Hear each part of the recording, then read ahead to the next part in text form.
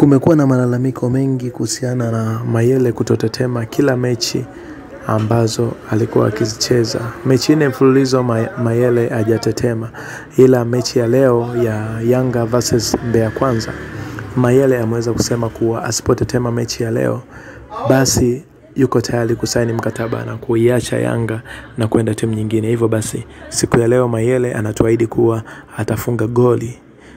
Amesema kwenye vyombo vya habari siku ya jana kuwa asipotetema basi atavunja mkataba na Yanga. Hatunakumbusha kusubscribe, like, share na comment, utakometia sana. Asante.